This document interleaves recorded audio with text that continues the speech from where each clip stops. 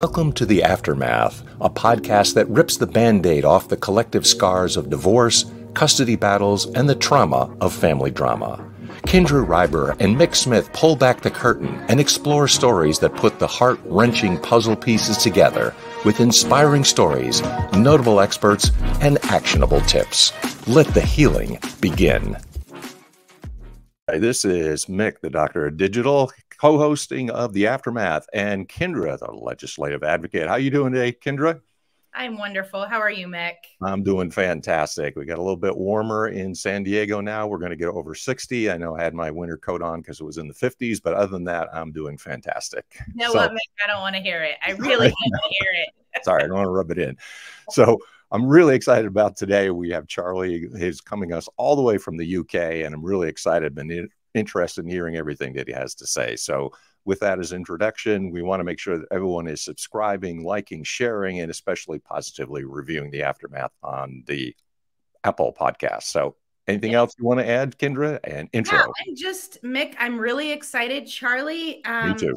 You know, is what he says is parental alienation is one of the worst things you can go through. And Charlie McCready is coming to us from London and he specializes in helping people get through this process because it's tough and he himself has been through it just like us and now he has a passion to help others so he actually has a nine step program that he's put together so i'm hoping we can maybe hear about that towards the end but really the topics that we're discussing today are going to be around helping your children through it re- reducing the damage, Two. and then restoring your own mental health. Three important points that we know are really critical. So, yes, I can't wait to get Charlie in. And with that, let's make sure we bring in Charlie. So, Charlie, you're listening in and we'd love to welcome you to the program. Thanks for taking out some time to chat with us today. Thank you very much, guys. Good, good, good. Well, and good day, Mick, and good day, Kendra. Lovely to have. Uh, it's lovely to be invited here. Thank you. Yes, thank you for joining us. We're looking forward to this conversation. so, as we were joking a little bit before we started the podcast, Charlie has a twin, and we're hoping we have the right Charlie here that can talk about parental alienation with us. So, you do, you do. You're in good hands. Perfect. You're the expert. Okay, great. That's a good start. Well, tell us a little bit about, you don't have to get into all the details of your story, but tell us a little bit about how you developed a passion for helping others and how this kind of started with you with exploring what mm-hmm. alienation even is. Yeah, so I, I like many people, uh, found myself being confronted with alienation back in 2013. Um, I had two two children at that point in time. I was married to somebody who was very narcissistic, and I, I kind of always knew during that relationship that if I was ever to leave it, uh, that this was going to be damaging for the children. But I had to exit it, and like like many of us, we don't really have a choice about this. Um, and it was really at the point in time of divorce that that my wife, my ex-wife, uh, made a concerted effort to stop me from seeing my children. So I, I, went through periods of no contact. I went through periods of limited contact. Um, but I also spent a lot of time trying to understand what was going on. I did a lot of research. Um, I started building up some tactics and strategies. And over a period of a number of years, I managed to rebuild that relationship with my children, which is the positive side of this. But you know, I appreciate that some people do have contact, some people don't have contact. But in either instance, there's there's a lot that you can do to help yourself and help your children. Sure. And I think, sorry, Mick, go ahead. I was just going to say, yeah, just kind of jump in because now looking up what you had done and what you're up to, you have a nine step program. So for those of us who said we've dealt with really difficult people, are you telling me that in nine steps you can help people? It's awesome. I got to hear all about this. That's what I'm really curious about hearing.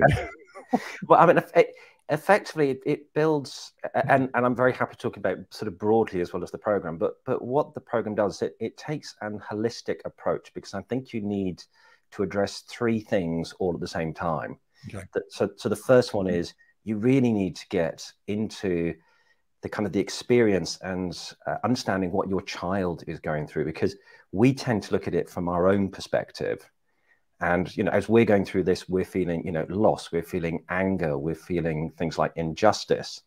And so when we're engaging with our kids, we're, we're trying very hard to kind of correct all of those things. And and actually, that's not helping the kid. Um, so understanding their perspective is really, really important. I'm sure we'll go into more detail about how counterintuitive uh, alienation is. So that, that's a big part of what the program does. The, second part is you really need to understand what's going on in the alienators' heads mm. because they they tend to be very very similar characters. It's quite weird that you know although everybody has a very broad range of experiences, there's so much commonality between what we experience. And that's great because it kind of gives us a framework that we can use and mm-hmm. adapt to our particular situation. Mm-hmm. But but once you understand some of the basics, like the, these people that you're in a relationship with a long time, they now, frankly, they hate you and they're on a mission to hurt you as much as possible. Mm-hmm. And because they themselves are they're quite insecure, quite vulnerable people typically. That's not how we experience them. We experience the individual who is actually terrified inside of themselves. So the way that they they counteract that is they are very bullying, they are very controlling, they are very mm. manipulative. Um, but also they're terrible parents and they don't care about the children. And the children are just a, a mechanism to to hurt us. So you really need to get into the the alienator's head, so you can start getting ahead of you know, one step ahead of them. Mm-hmm. Um, and then the third the third component is is you, and this is the bit where so many parents make probably the biggest mistake is that they are so focused on trying to help their child, which is very very important. They forget about themselves, and so they're in this kind of emotional, well, they're on this emotional roller coaster that the alienator has put you on because you know you're now feeling you're, you're grieving the loss of your child. You're mm-hmm. feeling mm-hmm. anger. You're feeling frustrated. You're feeling worry and guilt. And and the alienator puts you there but you're now self-perpetuating that process because the alienator's kind of walked away at that point in time. And it's up to you to get yourself back off that roller coaster and you have to give yourself permission to be able to do that. So basically in the nine steps takes you through what some what is a very complicated area and helps you to start getting into the mindset of the kids, helps you to start getting into the mindset of the alienators, and then helping you to rebuild your own mental and emotional resilience. In a nutshell, so that's, that's great. I said quite a lot there with, without giving you guys the opportunity to talk. No, that's absolutely great. I'm I'm glad you're explaining a little bit of that. Um, I think it's very inspiring into our audience, maybe for them to understand how big of a gap that you had, that you had limited or no contact with your children, how many years, and then just being an inspiration on how you did reestablish contact and what that looked like after you did all of your education. And then I think we'll drive it dive into the education, those three points. Cool. Yeah. So so it was different for both of my my children. One of them was 14 at the point in time that I separated. The other one was 16, um, and the the the older the older child had the benefit that she was quite quickly. Um, she went off to university, so she was kind of out of the out of the way of her mother's influence. Whereas my younger child was in the home for a longer period, so she was more mm-hmm. affected by the alienation process that was going on because my older child basically what happens with the alienators is they monitor everything that the children do. Mm. So you know some some of the alienating parents monitor telephone calls. They look at text messages and where they're coming from. I mean they a child has to explain every every kind of act they're doing. Where are they going? Who are you seeing? And so when they leave that that environment if they it depends on how badly they've been affected. But when they leave that environment, there are increased opportunities for the alienated parent to start rebuilding relationships.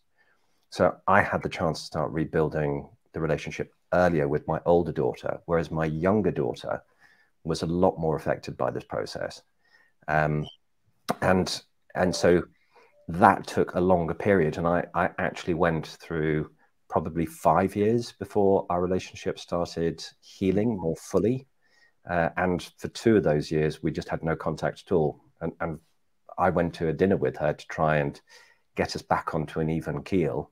And we just decided at that dinner that we couldn't see eye to eye, and it was quite pointless having an ongoing contact. And that was probably the hardest dinner of my life, thinking, wow, to, to heal this this relationship, we have to give each other the space to not be hurting each other for a period of time, and then come back into gently kind of getting to know one another once again. But much of it again was reliant upon not having a third party, being being the alienator, kind of interfering in that relationship. And I think I think that's one of the hardest things, in fact, for parents, because very often the alienators they, they they they play funny tricks. I mean, they do things like they will give the child the option of seeing the other parent whilst actively discouraging them from actually seeing the other parent. Mm. And then they turn around and they say to the targeted parent, they said, Well, I can't force, you know, John or Jane or whoever to see you. You know, I've given them the choice and I can't force them to come and see you. Um, and it's never that it's never the child that, that typically says that. It's always the alienator that presents that argument. Mm-hmm. Yes. it's, it's very, very manipulative. It is. And I am smiling. So for those that can't see us, I'm smiling because that's my story. I, I mean, it is. And it, it, Charlie and Mick, I think you can agree it's Absolutely. almost written by the book, right? Yeah. It's just identical stories. Like if you mm-hmm. start talking to people, it's the same thing that you hear over and over. And so I'm really interested to dive into the psychology of this mm-hmm. today because I think there is the legislative part of it. And that's what we're working on, at least what I'm working on in one area in the US. But this is a phenomenon that is across the world and mm-hmm. it's psychology right? And so I'm really into, interested in diving into your three topics and spending a lot of time on a parent's mental health and taking care of themselves because I think that is something that lacks and that's so hard to see. Like you said, we're always so involved in our kids and we're always trying to provide for our kids. And when they're taken out of our lives, what we experience and the grief. And I tried to explain it to someone when I was doing a, a, a guest, when I was a guest on their podcast the other day that it's almost like your children are dying over and over because the grief that you're experiencing. If you get to see them for one time and then you don't see them for a long time, it's just that grieving period over and over. And it, it really does wear on you uh, emotionally. So I'm excited to dive in. Yeah, I mean, ju ju just in terms of, of kind of building upon that, Kendra, we we end up in an absolute mess mm-hmm. because we, we go through, in fact, what, what I use on the program is I use the um, a change curve that Dr. Kubler Ross uses for bereavement because we sure. go through an almost similar process. 1st mm-hmm. of all, mm-hmm. there's there's shock, then there's denial, then we go through anger, then we go through bargaining with God or you know whoever the universe, and basically saying, "I promise to do anything providing you give me back my children." Yeah. And then we start coming out in into depression and ultimately into acceptance. But it's not, as you say, it's not a normal acceptance because we're not we're not grieving in the same way that we grieve for somebody who dies. And th this actually is probably one of the biggest problems for the people around us because although this is happening to millions of people around the world, it it is still not understood by pretty much everybody we know. So we end up feeling hugely isolated because because nobody can support us and you know the social services cps the court system the police the schools mm-hmm. our families you know no nobody understands it nobody and a lot of people actually start thinking in their own heads that we have got something wrong with us you know why right, are we such a bad parent sure. yes and particularly for, for for women you know why is she such a bad because d- dads have got a bad rap anyway but you know why is why does a mother not have her child? You know, and it, and the point is, you, you're a great mum, Kendra, and, and Mick, you're a great dad, but we we other people don't see that. All they see is kind of the the fallout of uh, of what's happening. So yeah, we we end up having to deal with this problem pretty much ourselves because if it was a normal bereavement, uh, people know how to cope with that. They know what you're going through. They know how to mm. comfort you. But in this instance, you, you're just left on your own. And also, the grieving process is so different because you're grieving the loss of the time that you're missing with your child right now, but you're also grieving for the future time that you're potentially not going to have with your child. Mm. But it's it's so hard for for the parent because you've got all these other emotions going on. You're feeling guilt that you haven't done enough. The reality is, we all do our absolute best, but we still feel really guilty about it. We're also worrying about what's happening to our child. You know, what is happening in this household? What's happening to their grades? What's you know, are they are they safe? Frankly, hmm. um, and we have fear and anxiety and all these emotions just pile in on top of us, uh, and it's it's we get caught in a loop basically, and our subconscious comes into play here as well. So when we're when we're thinking about you know the loss and about this situation, we kind of give it to our subconscious. Our, our subconscious got no filter. It it just says, okay, Kendra, Mick, you want me to work on feeling grief and guilt and shame and anxiety. So I'm going to work on all of those things for you. So it does. And then it gives it back to you when you're driving your car or making a meal or watching TV or trying to do your job. And because you're now thinking about it, you've now mm-hmm. put it back into your subconscious again.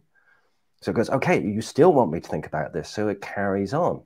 Mm. And so one of the things that, that I teach people on the program is, is to break that loop because you can't start getting over this experience unless you actively, I call it conscious thinking, unless you actively start giving your subconscious something different to deal with and something positive. But this, this is where the permission piece comes in because you're on that roller coaster, you're stuck, you're like a hamster on the wheel, pedaling furiously, but you're not actually getting anywhere. And you, you need to kind of stop and say, actually, I'm a good parent. I'm a good dad. I'm a good mum. I'm a good person, regardless of what has happened, because you are. You're all fantastic, wonderful, beautiful parents but you've been told by somebody else that you're not, you know, and your your kids have turned against you. And frankly, you stop believing in yourself. So you you lose that that self-esteem, you lose that self-confidence, and you're the only person who can can give that back to yourself. So mm-hmm. my my job is to give parents encouragement to give themselves permission to get off that roller coaster and to start putting something else into their their kind of the future path that they're going to take. And oddly, this is an opportunity in life that we as alienated parents have, which most parents don't have. Because our lives are thrown into such disarray, we have to take a really good look at ourselves and we have to take a really good look at the things that are triggering us and how we are reacting. Because if, if we if we have triggers about a lack of love, for instance, lots of us have been brought up and have these emotions from our childhood. And so when our children are rejecting us or are abandoning us, all of these things come to the fore. And once you start getting into those, you, you find that we're a little we're a little spider's web of lots of things that have been triggering us for years and years and years, but we've never spent the time thinking about it. And this forces us to, to have a good look at yourself to say, okay, the alienator knows me really well. They're a master manipulator. They know all my triggers. They press all these buttons. And they're going to keep pressing those buttons until the time that you say, okay, that's a trigger. I'm going to get rid of that. That's a trigger. I'm going to get rid of that. And you, you literally, you disarm the alienators, but you're also disarming so many other parts of your life where the same things have been um, they've been very they have not acted in your best interests and they've been counterproductive for you in many other ways because as soon as you react to anything you're, you're no longer doing something that's good for you you know you're typically going to have a poor outcome so it, it's in an odd way this is an opportunity mm. for for us mm. to actually make other aspects of our life better again, this this stuff is really counterintuitive. Um, the the other thing that I try and help parents with is that very often the loss of your child, say they're in their teen years, is something that you know you, you're not having the same level of contact with them now. But another four or five years, you probably would have been preparing yourself for a period that they were at college or they're going to work. And so what you're doing is you're kind of bringing that experience forwards by four or five years and going through that process early. It, you know, it, it's a lot more painful doing it in the way that we're doing it, mm-hmm. but it's a matter of framing things differently in your own head so that you can kind of come through this in a more positive way. None, none of this is rocket science. It, to, to a certain a certain amount of this just kind of tricking our own minds in order that our emotions then follow. And does that does that make sense to you guys?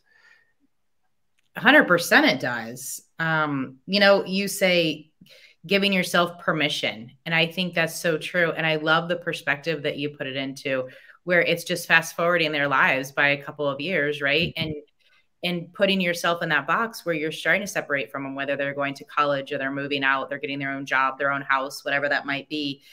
And I never thought of it that way. And you're right, it's super painful. And I also want to give listeners the permission to experience that pain because you have to go through that pain and that period of grieving, right? And and like yeah. you're saying, there's all those different steps of grieving. But um, it's interesting because my I always choose a word for the year, and it's January. So my word is happy, and so it's very top of my list right now. And I want to be happy. And I, so that relates to giving yourself permission to have mm-hmm. that life I want to experience. And I've now accepted, I've come to that point, right? I went through all of when you were, you know, talking about the stages of grief, I've now accepted.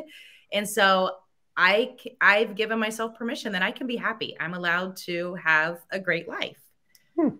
And, and actually that, that word acceptance is really critical because I think that's the hardest thing to actually get to. And acceptance doesn't mean that you're giving up.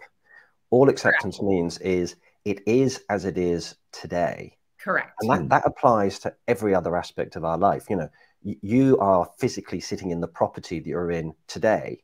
You don't worry about accepting it. It just it is as it is. Mm-hmm. You know, and most most of most of the aspects of our life, they are as they are the hardest, it, it, but it's very difficult to turn around and say, the relationship with my child has been damaged. That is the way it is today. But that doesn't mean to say that it's going to be, that it can't be different tomorrow. And I think that that's one of the really important things that should help parents because when they're learning about you know what your child is going through you're preparing yourself for the point in time that you have the opportunities to rebuild these relationships. Because parents make so many mistakes in, in terms of so there's there's basically a list of do's and don'ts of of how you communicate with an alienated child. So they don't want to talk about alienation. That's a big no-no. So don't don't try and engage them on that they don't want to hear about your perspective of the injustice of what has been done to you. Mm. As far as they're concerned, when you do that, you're as bad as the alienating parent. So you end up pushing them away again. Mm. You, you know, we do things like we over communicate with them. And that's, again, that's our trigger internally of our sense of loss. So we reach out, and the first thing we say is, I miss you. Sure. That that's the worst thing you can say to an alienated kid.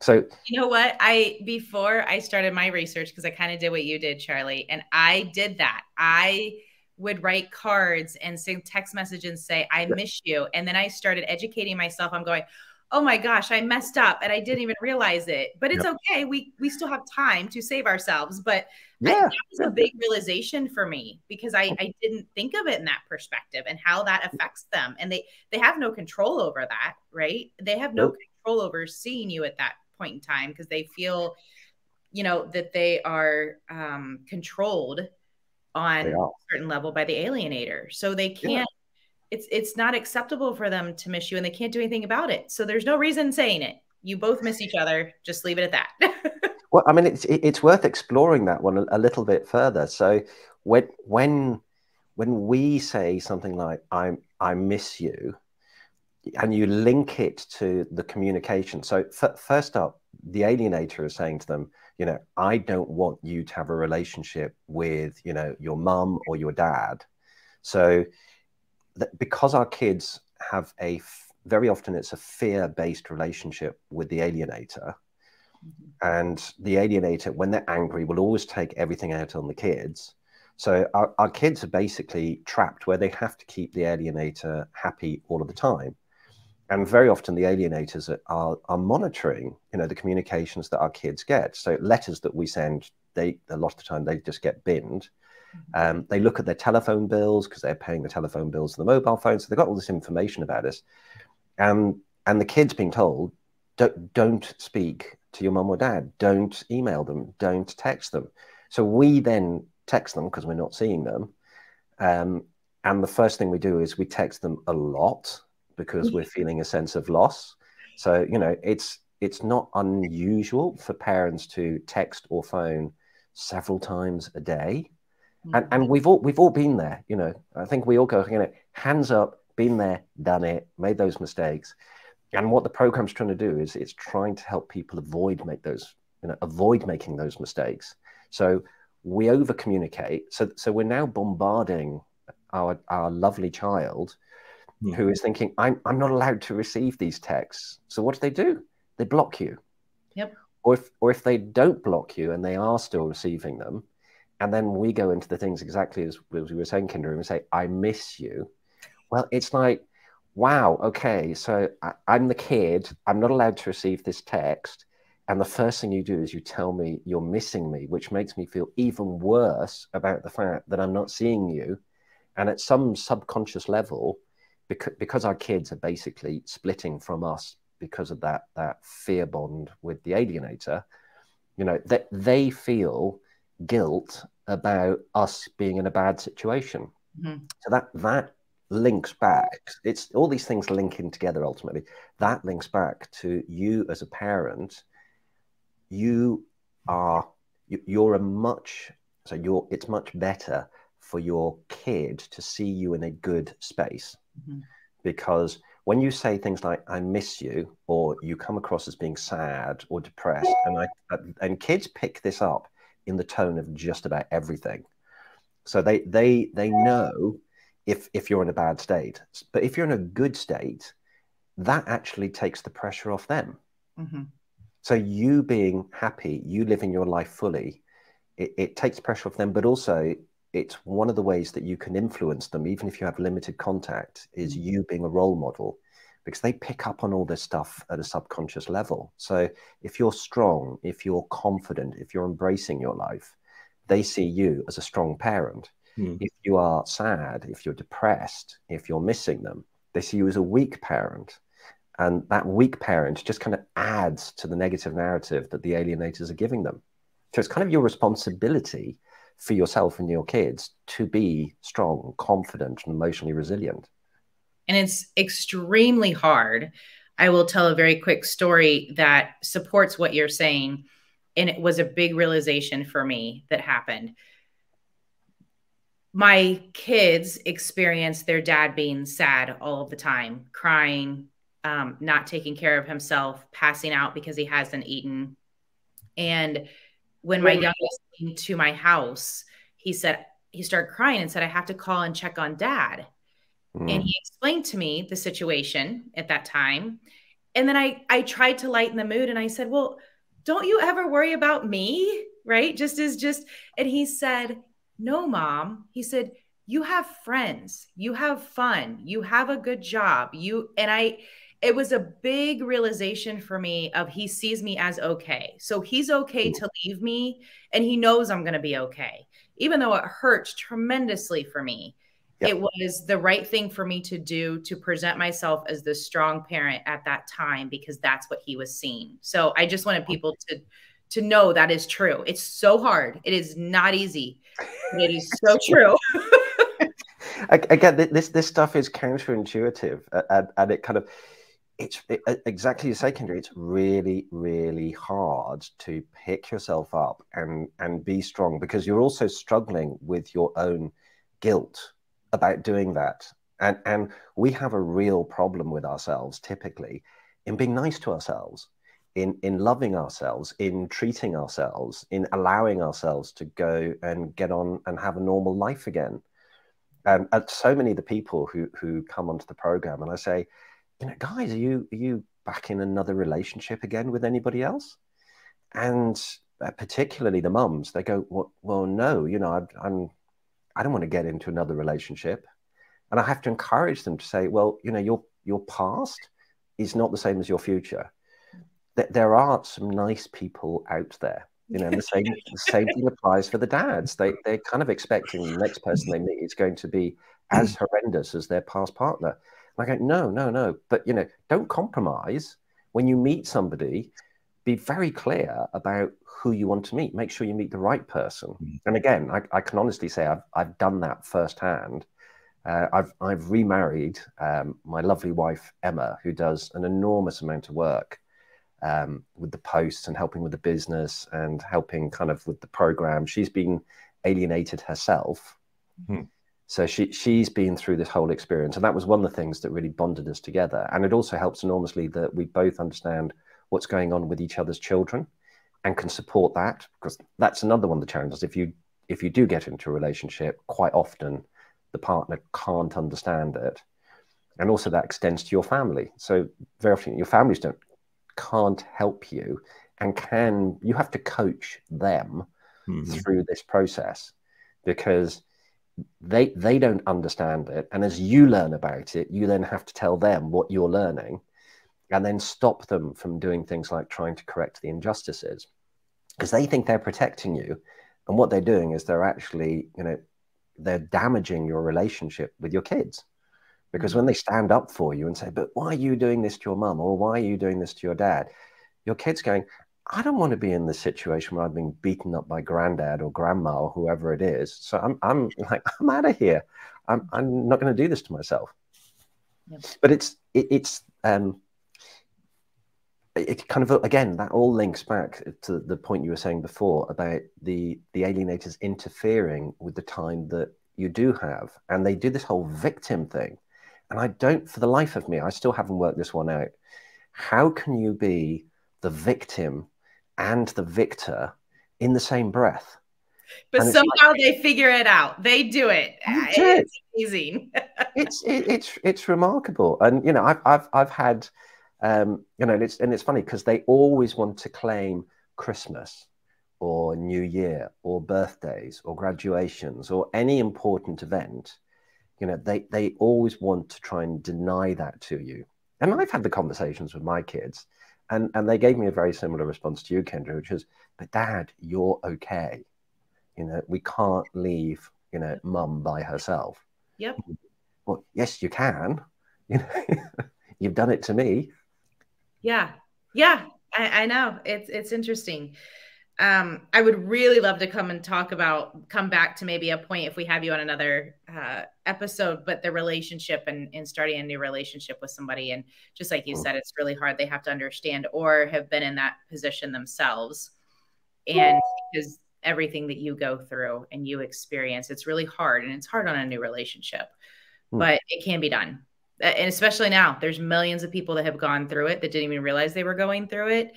Hmm. And and they're starting to understand and it's becoming uh, uh, more talked about now more aware yeah i mean i, th- I think if if anybody who, who's who's listening to this and they're noticing that that their child is acting in an unnatural way so children will always want to have a relationship with their parent regardless of what their parent has done to them mm-hmm. and th- this is this is something the legal system should pay more attention to even where people have psychologically abused their children, sexually abused their children, physically abused their children, those children still want to have a relationship with that parent. And it just shows the, the extreme nature of parental alienation that the child feels denied the ability to have that relationship with us. Mm-hmm. Can we kind of I follow up a little bit on that because here's one of the things that when you experience parental alienation, you know it's real. But here's one mm. of the unusual things that I found about it that people define it differently. And then there are people who just deny its existence entirely, mm. which is mm. surprising because, like Kendra and I, we both experience it. We know it's real, but yet then it's not always recognized and especially by the counseling and psychiatrist community. They haven't formally said that it exists. So I'm curious mm. about what your definition is. And then could you expound a little bit on what parental alienation is, especially for those people say it doesn't exist? That seems critical. Yes, I, I, I think if you find that your child is changing their behavior quite dramatically with you, so you can look at things like if they're losing respect for you, if they are uncomfortable in, with contact with you, if when the time they're coming and spending with you, they don't actually engage with you and they just go and hide in their bedroom, you'll probably notice things like they act differently, very differently, when the other parent is uh, in the same environment as you. Um, I should have armed myself with. I think Amy, Dr. Amy Baker, has got. She's got some excellent definitions. I would point anybody towards her her, her books because she has I think there's seven different um, kind of symptoms which are easily identifiable. And if you if you tick the box for all seven of those, you're probably experiencing parental alienation. Mm-hmm. Yeah, I would agree. Amy Baker is a great resource. But but it's also kind of building upon what you're saying, Mick. It's it's deeply frustrating that the psychological profession haven't yet and, and it's it's surprising given the number of people that experience parental alienation. It's like, what is stopping them from mm-hmm. recognizing that this is a, a real phenomena? Yeah.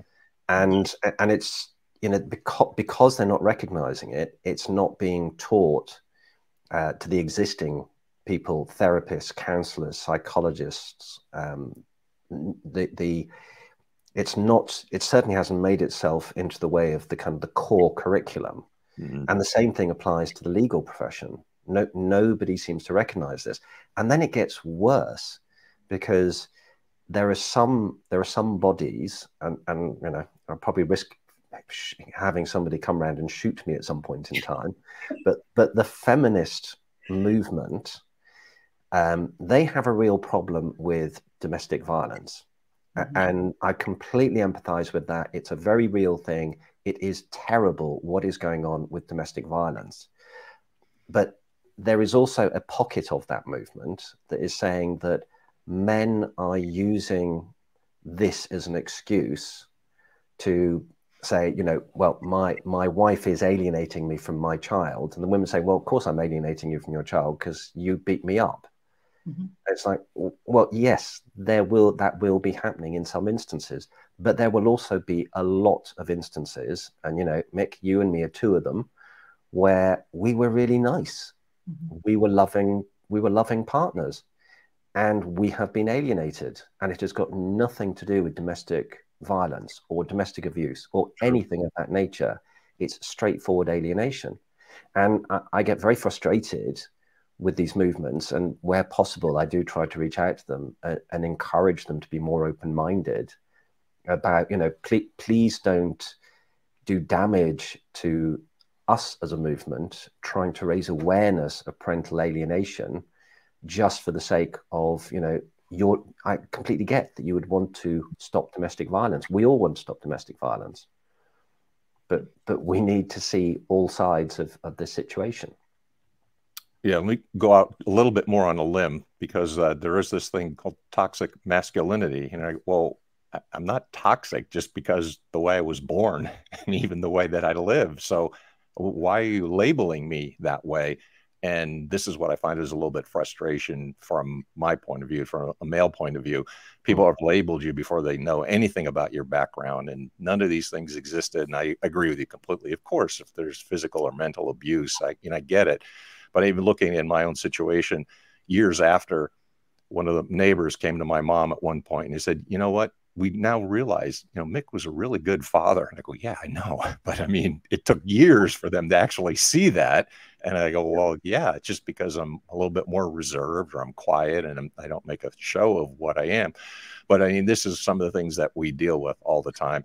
And if I could just say well, another question I had, just if you know because you deal with people from all over the world probably what's the difference in the UK as opposed to the states and just a comment when Kendra said we're working on legislation we got 50 states and you have to have mm. a movement in all 50 states mm. could you say a little bit about the system both in the UK and England itself and how that is set up? Because that's probably a difference for a lot of people and it would be informative. Yeah. So, so well, first of all, as, as you rightly say, the way that your legal system is created, you have to tackle this state by state. And that is going to be insanely hard to, to do. I, I wouldn't have imagined that you could get that to work at a federal level and have it passed down to the states. I think you're more likely to have to do it, you know, piece by piece.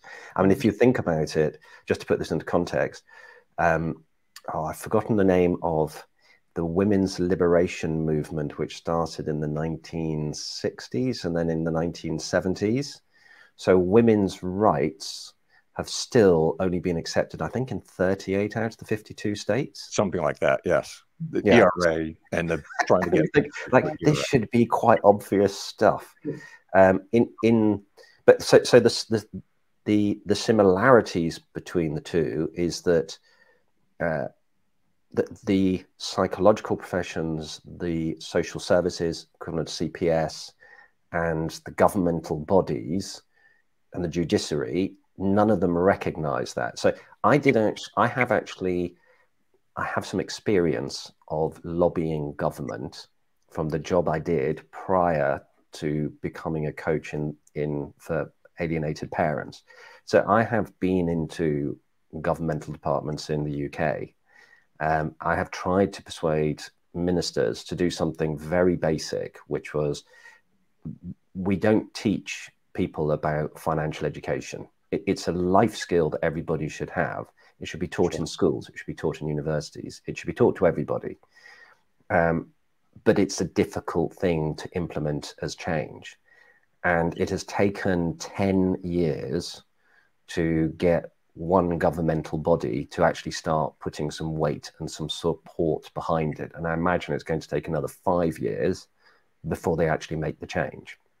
And this is not what parents want to hear because a lot of people get very angry, they get very frustrated. They imagine in their head that if they make enough noise, they're going to make a difference quickly. It doesn't work that way. You have to very progressively build support amongst the people who are going to influence the decision makers. And that can take a long time because the people in power typically take decisions that are not going to cause them any political damage. So they want to have enough other people around them who are supportive of the idea in order that they can take it safely. And if it all goes horribly wrong, then they can say, well, all these other people, you know, guided me and encouraged me to do it. So they tend not to make decisions by themselves. So, you know, in the States, I imagine it's exactly the same. You're going to have to build state by state support within the people. You know, you have to target who are actually going to be making the decisions about changing the law. What sort of support and evidence are they going to require in order that they can get comfortable that this is a real thing? Which makes it all the harder because the other professions, the psychologists, the psychologists, for instance, are not currently supporting it. Hmm. So if they're not supporting it, how do you then take it up to the next step, which is to get it recognized in law? Mm-hmm. Sure. I mean, it's, I, I, hate to be a, a, a, damp squib on on this stuff, but you know, there was a quote from uh, I think it was the movie Blackwater. Was it Blackwater, where um, the, the, the lawyer who's been fighting DuPont about poisoning the state of Virginia, I think it was, and he he turns around to his wife and he says, "There's only one person who's going to help you through this, and that's you." Mm-hmm. And I yes. hate to say this. I hate to say this, guys. You know, we we are in as an alienated parent. You're in a very similar situation. You have to take the actions. You have to to to do the things that are going to help you and your children because you're not going to get the support from external parties. It just doesn't exist today. That's why I like your program is because I, I think that it's a very different look at it because yes legislation takes years if mm. if you even make a change right? So that's the long term plan. In the mm. short term let's psychologically understand what our children are going through and what we're going through and let's help ourselves through this. So there's definitely two sides to the alienation i think. Um which brings me back to the point that i i think we're going backwards on your list here that we started with but how can you reduce the damage it's done by the alienator? So, alienators are quite predictable people. And what they tend to do is if they are angry about something, they will take it out on your child. So you need to start thinking a lot more about right. What what's so I normally ask people um, when when they're first engaging with me and they're talking about their experience of alienation, I ask them about the events or the catalysts. You know, what is it that triggered alienation? Because you can normally point towards well, that separation is a big obvious one, but you know, typically the relationship and the alienation, your relationship, that person has been breaking down for a long, lot longer, and the alienation process has often been going on for a lot longer as well. So one of the things that I would encourage people who, even if they don't think they're experiencing alienation, but you think you're with a narcissist, I would start taking a close look at what the dynamics of what is happening within your family. In fact, I would encourage people to think very carefully about how they are going to exit themselves from that relationship so as to reduce the damage. So if you so the things that an alienator is going to get upset about include going to court.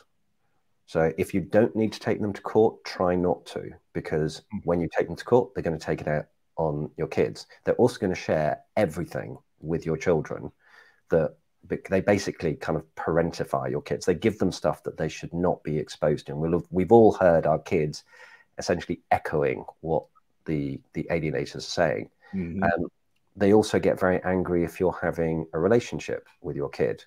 So you need to tread carefully in terms of you know sometimes you you need to back off a little bit from your kid in order to reduce the damage that the alienator is doing to the kid psychologically because they don't want them to see you. And and this sounds awful, but you know sometimes we have to do that because we love our children. Um, but also don't do things that think very carefully about how the alienator is going to respond. So so change your tactics so that if there's a way of reducing, you know, you want to keep boundaries, you want to be firm with alienators, you don't show you you don't show weakness but also you don't want to do things that is going to unnecessarily aggravate them because when you do they just take it out on your kids mm-hmm. so th- those are kind of sorts of examples of ways that you can reduce the damage that they're they're, they're doing to the kids um, by just being a lot more tactical in the way that you engage with them and i think at one point whether it was right or wrong charlie i decided to back off with my child because there was so many different things that he was getting punished for in the home. Mm-hmm. He mm-hmm. was having to, um, he he was peeing the bed, and he mm-hmm. was having to do everybody's laundry every day because he peed the bed. Yeah, um, there was Christmas gifts for all of the other children underneath the tree, um, because the relationship that he had, she had some other children involved. So there was Christmas gifts for them, but none for him. And mm. at one point, when he got in the car and he cried and he was telling me these things, I realized I was hurting him worse mm. by spending time with him. And so, the best parent and the best way I could be a, a good parent at that point was to let him survive in that environment and not have a relationship with them mm. at that time because I knew he wasn't getting hurt physically, but emotionally, he was when he was seeing me and he was making that choice. And so yeah. that it's a different perspective to look at a, being a parent, but sometimes you have to evaluate that. It, it, it's, yeah, I mean, it's one of the hardest gifts that we give our children because the, the price of that gift is is directly our loss, and it shows that the the depth of our love for our child that we're prepared to take those sorts of actions, and you know, we we sh- we should not underestimate the psychological damage that is being done to our kids by the alienators that that, that our our own children are going to be taking into their adult lives you know and how it's going to impact them in in, in the long term. And that that is um, in fact there was somebody the other day who put a post up onto my facebook page and they were talking about the genetic nature of parent of alienators and narcissists. And I responded back and I said, this is not genetic. This mm-hmm. is down to the fact that typically, and it's a question I ask all of the parents, what has that alienating person, what have they been through? What is the trauma that they've been through? Because very often you can take it back to something that's happened in their childhood. So they might have come from a broken home. You know, they might have come from a very domineering parent. They might have come from a background of, you know, alcohol or domestic violence. Mm. And so a young person traumatized who never deals with it, you know, this is why I said at the beginning, they're very insecure, they're very vulnerable, and they protect themselves. They don't want to repeat that trauma, so they protect themselves by being very controlling, by being very bullying. But they're actually inside, they're terrified, mm-hmm. and also it's one of the reasons that that they they're kind of like Peter Pan people in the way that they mature into adults because they never fully mature. They're still quite childlike themselves. And th this is one of the problems they have. So you'll find that alienating parents are very poor at looking after their children. They're very bad at setting boundaries. They don't really spend time thinking about the kid's interests, what's really good for my child. They let them stay out late. They are quite relaxed about alcohol. They're quite relaxed about drugs. They don't worry too much about their grades. You know, they're really quite emotionally devoid and mm-hmm. have a real inability to to connect with you know with children with you with other people and when you think about how scarred the alienator is and then you look at the experience your own children are going through you know you, you have you have to be cognizant of this is going to impact the kids mm-hmm. you know and, and, it impacts all of the kids mm-hmm. and so so many children that they they become adults they're no longer under the influence of these alienators but you can't have conversations about those past experiences so if, even when they're in their 20s and 30s and sometimes older you can't talk about alienation because they're now scarred. That's their trauma. And if you know and one hopes that they then don't repeat the cycle themselves. Mm-hmm. because it is you can literally look back and see you know grandparents who traumatized the parent of your ex who then traumatized your ex who's then gone on to traumatize your kids you know and the potential for your kid now to go on and repeat that experience to some degree with somebody else and that and that is that is where the problem lies. It's it is the way in which we have been parented that creates, you know, who we are, and it creates who the alienators are. It's not a genetic thing. Hmm. So does that take us back to answer the question of helping your children through it? And is there a way to end the cycle? Yeah, fr- fr- frankly, help, help, helping your children. So what I encourage the parents to do is, is remember that, well, to see things through your child's eyes. So, what are they going through? So, as we were saying before, they're, they're living in this very fearful relationship. So, them not wanting to see you is because they're afraid of the consequences and how this is going to upset the alienator. Uh, one of the things that that I explain to people is the when we're in a marriage with uh, a narcissist, we become what I would call regulators. So we regulate their mood. We keep them on an even keel. We keep things calm in the household for the benefit of everybody. And when we step out of that role, the children step into it. It's mm-hmm. because somebody that suddenly a vacuum is created and the children become parentified. So that's that's another one of the things that that as a parent you should be looking out for because you will notice that they start treating you differently because they're now having to parent the other person. Mm-hmm. And because that relationship has changed, they extend it to you.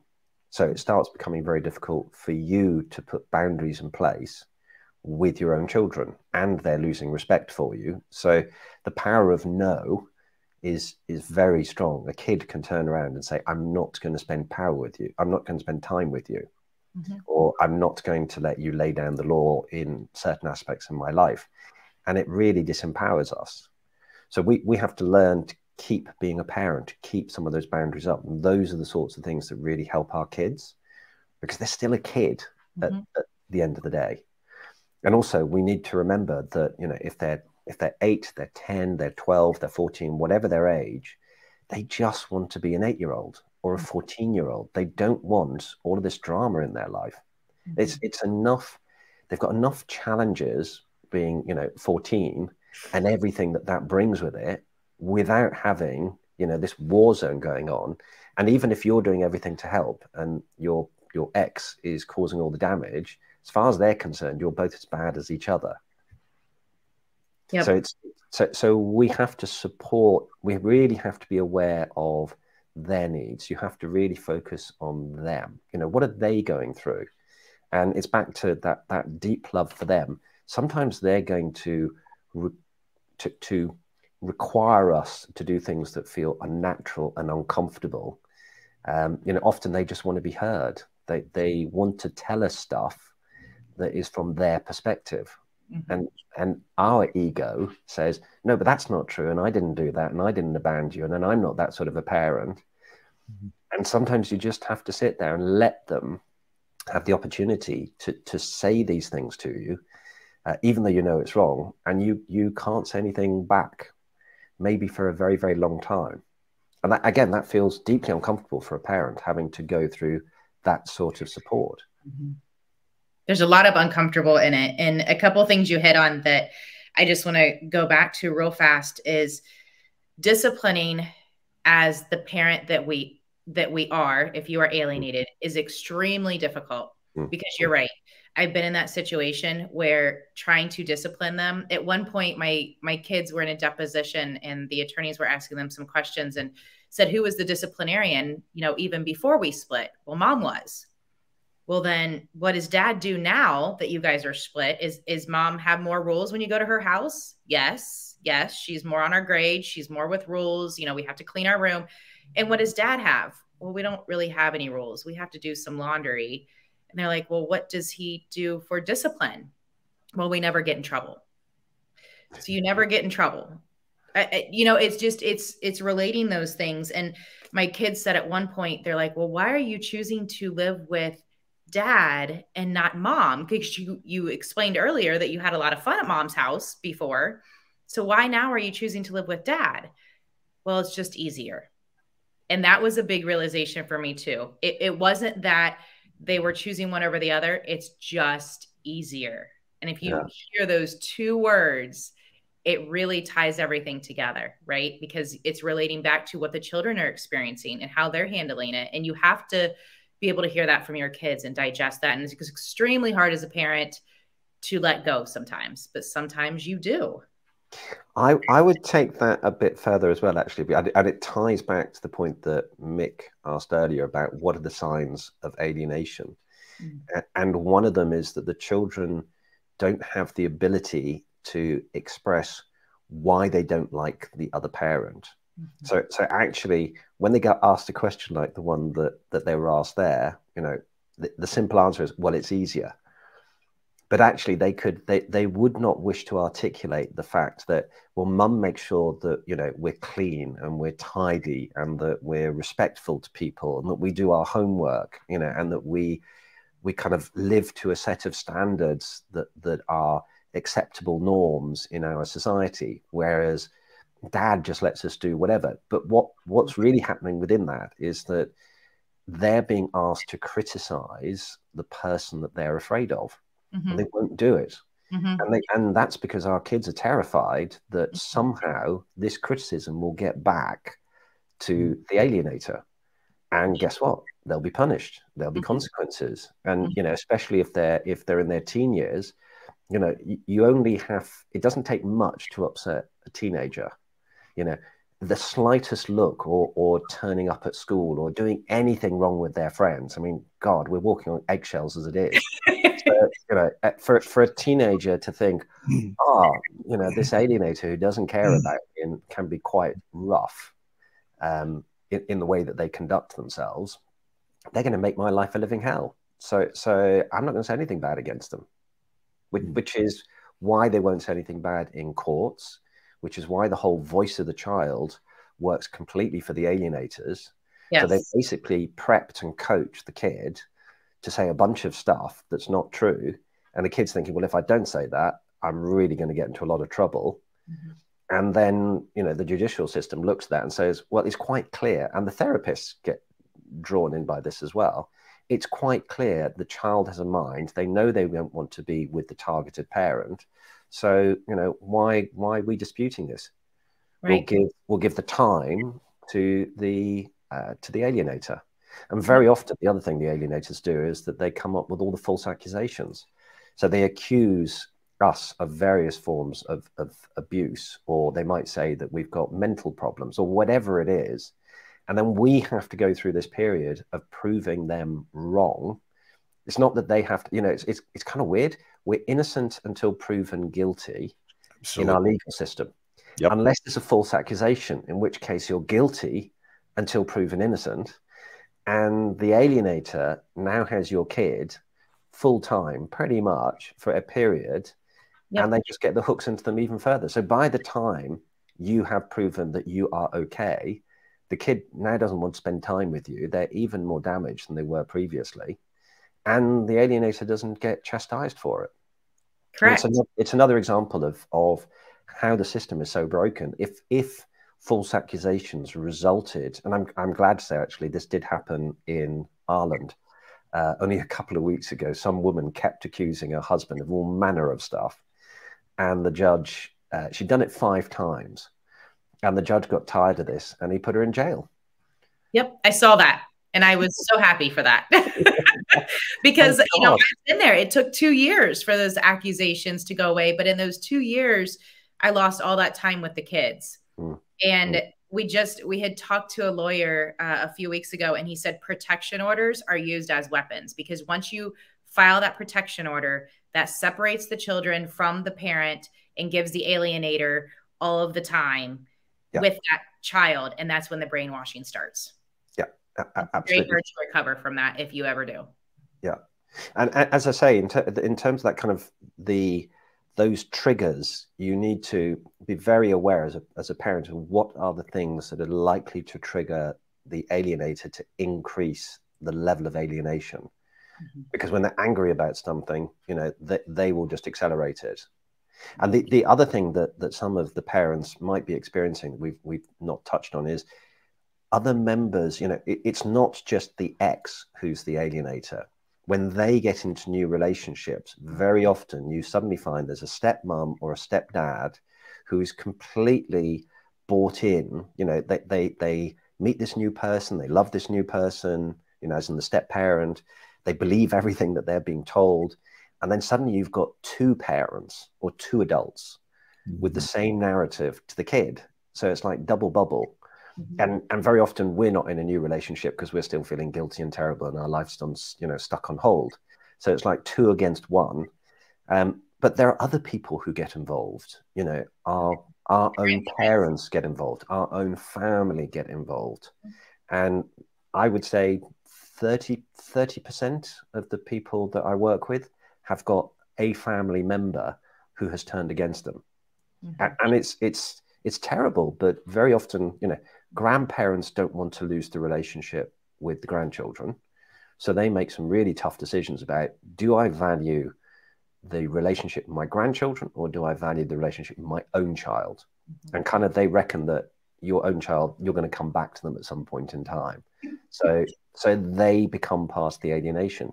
Other members of so they're family, making the same choice that the children are making as far as looking at which parent will accept them later, right? Which is the weaker one or the one okay. The grandparents are making the same choice, right? And they absolutely, they, yeah, it's interesting. Yeah, yeah. I mean, it, it, it, it's shocking, and also our own siblings and our own family members do it.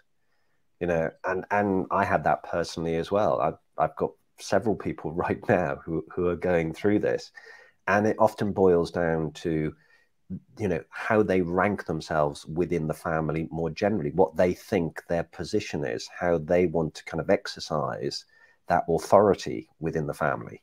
Um, others have, are jealous of us for whatever reasons. You know if we've done better than them in in certain aspects of our life and now we're suddenly in a, a more weakened vulnerable state and they turn on us. It's, it's an opportunity for them to do us further damage gosh, it's just so much hurt and so much pain. And it just tears me up. It just affects so many people. Yeah, yeah. I mean, and I mean, this again, this this comes down to why it's why it's so challenging for us and why it's so important for us to be very, very mentally and emotionally resilient mm. for, for our because if we're not, we, we can't help the people around us, we can't help our children, and also we can't help ourselves. Mm-hmm. You know, and, and we are lovely people. We, we have to kind of say, I'm a good person. I should be allowed to get on with my life in a in a good and positive way. Um, and that's why I say it's so so important to help parents have permission. But also, you you kind of part of that is is looking at the world. I try to give people lots of kind of analogies because it, it helps them to kind of process this stuff better, mm-hmm. and to imagine that there's two different universes. That there's the universe of you, and there's the universe of your child. Mm-hmm. And imagine that they, these are two separate universes. That they're, they're not they're not joined. And in your universe, if you are sad, depressed, guilty, shameful, all those things that are negative, that is not going to do anything, as we were saying earlier, that is not going to do anything positive for your child because you're you're coming across in completely the wrong way. And guess what? It's it's not it's really bad for you.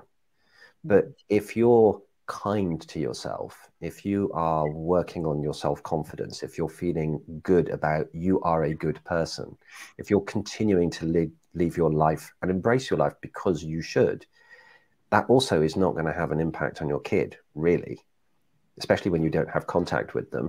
Mm-hmm. But it has an enormous impact on you. Mm-hmm. You know, so again, why would you do stuff that is only affecting you? Or why would you do things that are bad for you when they're only affecting you? Uh, but we do, we do, until somebody comes along and shakes us and goes, What the hell do you think you're doing? What? Break out of this. Go, you know, start doing things that are much better for you. Well, I have definitely been shaken today. And Charlie, I appreciate it. And I don't know about you, Mick, but I think that was um I got so many compliments there that I was a good mom within the hour that more than I've ever had. Yeah you, you, you guys are brilliant and amazing. And what you're doing is brilliant and amazing, but you're both great people. And, and you know, sometimes you just need to remind yourself. Yes. Yeah, true. Well, thank you for reminding us today and listeners. And Charlie, the nine step program, how do people get in contact with That's you about it? Yeah. I know I was very interested in it. So I watched your intro video that you sent me, which was about 20 minutes that explains it, which yeah. was fabulous. But how do they get in contact with you to get that?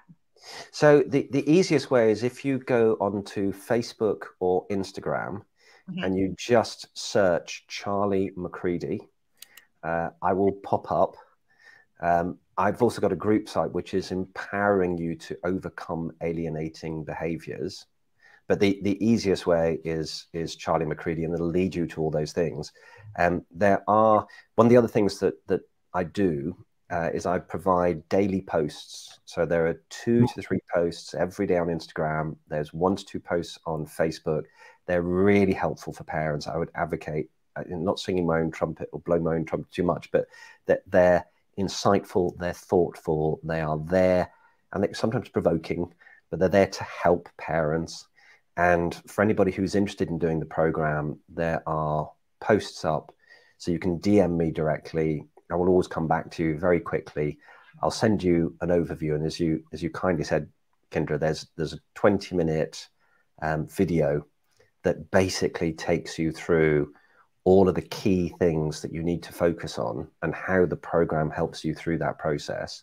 And what I've done is I've I've taken a very complex complex area mm. and distilled it down and made it as easy as possible so that you literally have okay, here's an easy step one, here's an easy step two, here's an easy step three, to take you through this process. Start starting with kind of where are you today, and then learning about your kids, learning about the alienators, and re- spending quite a lot of time focusing on you, so that you're in a position that you're building your mental and your emotional resilience. Because only then can you really help your kids, and your family, and yourself.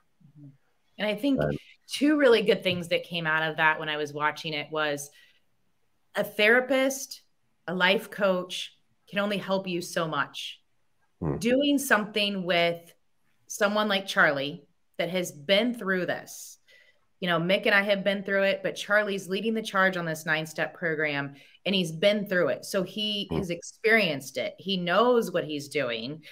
And I think just bringing that simplifying it because sometimes we can go get so involved in, in our own situation and just bringing it back down to a level to understand and simplify and you're doing it not just with charlie but with only three or four other individuals. This is not a large group type of setting overview one time thing right? It's a very intimate setting where you get to know other parents and you can be vulnerable and um, you know admit mistakes or you know cry i'm sure during the sessions and yeah. and also celebrate little wins right? And so i thought that was very impactful. It's very unique. And i just charlie i think it's a great thing you're doing. I absolutely love it thank, thank you and, and so just just to build very quickly on the on the group side that's so well two things actually when part of the challenge for the parents is that you're having to deal with different aspects. So some people will specialize on helping your child. Mm-hmm. Other people will specialize in helping you. Mm-hmm. Other people will specialize in dealing with narcissists. Mm-hmm. But actually, you have to do the three things together, and that and that is part of kind of the uniqueness of the approach that we've taken.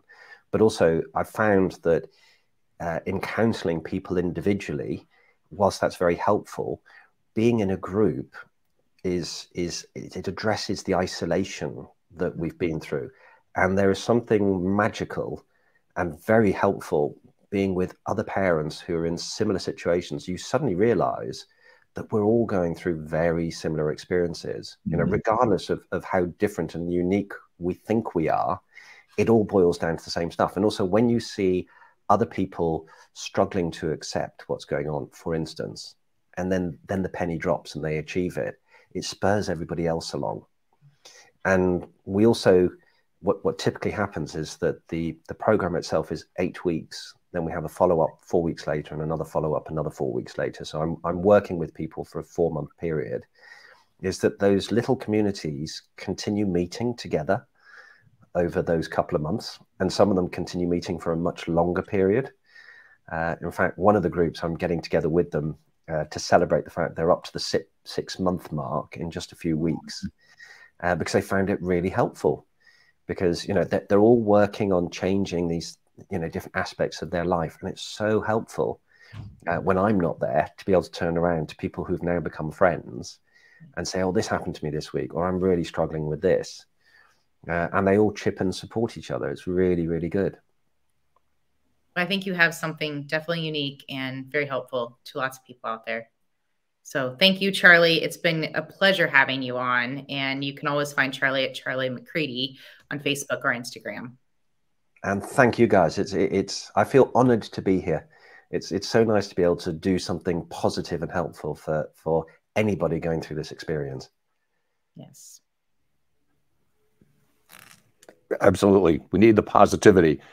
So if you want to continue having great guests like Charlie, because I learned a lot, I came out saying, is this really possible in nine steps? I'm a believer now. Hopefully, everybody else jumps in as well too. But if you want to have more special guests like Charlie, you appreciate your time. Make sure that you are listening, liking, sharing, and positively reviewing the aftermath on Apple Podcasts. Until next time, we'll see you then. Deus Vult.